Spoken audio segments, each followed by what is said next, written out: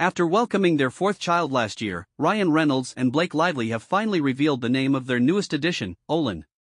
During the Deadpool and Wolverine premiere in New York on July 22, Ryan took a moment to express his gratitude and love for his family. From the stage, he gave a special shout out to his daughters James, 9, Inez, 7, Betty, 4, and their baby Olin.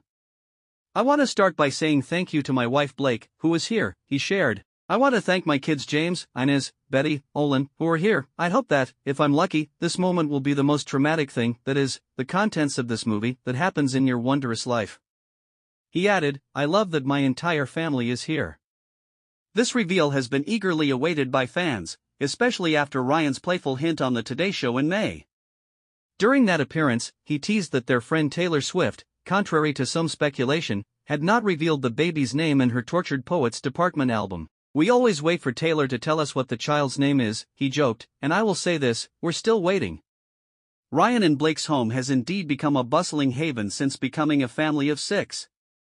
The Marvel star fondly described the lively household as a zoo but wouldn't have it any other way.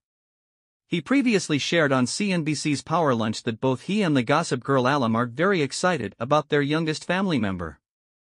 Look, we wouldn't do this four times if we didn't love it, Ryan said with a smile. Everybody's doing great.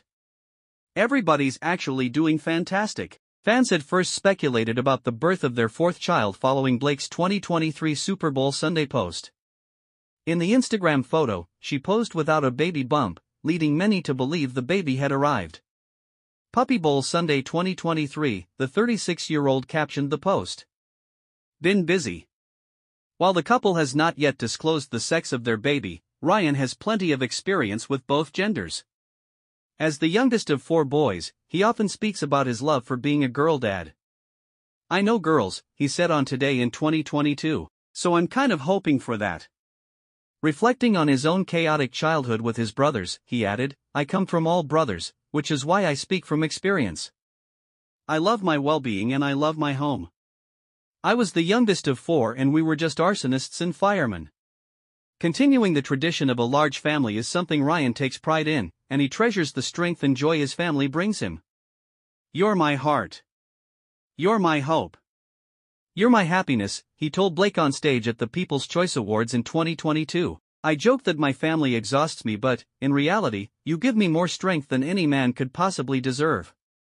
Ryan and Blake's love story began in 2011, and after a year of dating, they tied the knot in 2012. Before marrying Blake, Ryan was previously married to Scarlett Johansson from 2008 to 2011. Thanks for watching. Please, like the video, subscribe to our channel and turn on the notification button so that you'll be notified when next a video is uploaded.